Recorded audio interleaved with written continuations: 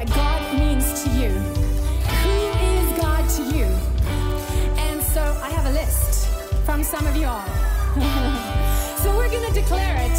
This comes from all of us. So it goes like this He's gracious and unstoppable. He's hero and warrior. He's amazing and powerful. Hallelujah. He's loving and true this way. Whoa.